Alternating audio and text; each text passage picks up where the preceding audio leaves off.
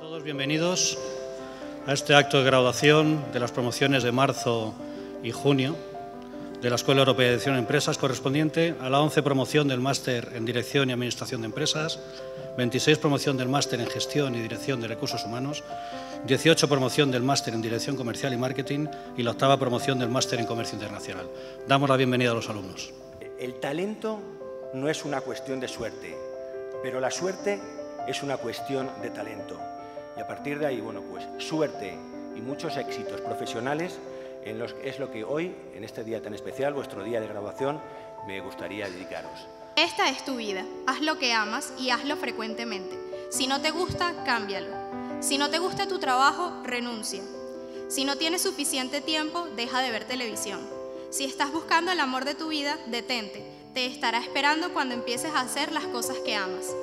Deja de analizar demasiado. La vida es simple. Todas las emociones son hermosas. Cuando comas, aprecia cada último bocado. Abre tu mente, brazos y corazón a nuevas cosas.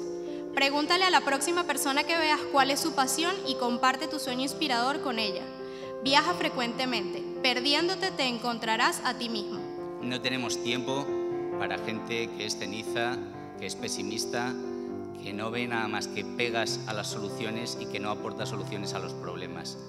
Los directivos necesitamos gente como vosotros en clase, gente que aporte ideas, gente que aporte diferentes maneras de ver las cosas y que al final aporte soluciones para sacar adelante a los negocios. Una cosa es predicar y otra dar trigo.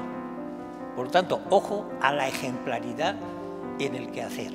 No solamente hay que saber estar, sino saber hacer. Lo que no es rentable no es sostenible. Ya saben que las preocupaciones sociales, medioambientales y éticas, que son las tres dimensiones de la sostenibilidad, deben integrarse en la estrategia de la empresa del tercer milenio. Aquí han aprendido contenidos, muchos materiales, pero lo que es más importante, les han enseñado a discernir, a filtrar, a valorar, a adquirir, quizá lo más importante que debe tener una persona, que es el criterio. Repito lo que dije antes al hablar de las instituciones. La institución más importante es una buena educación.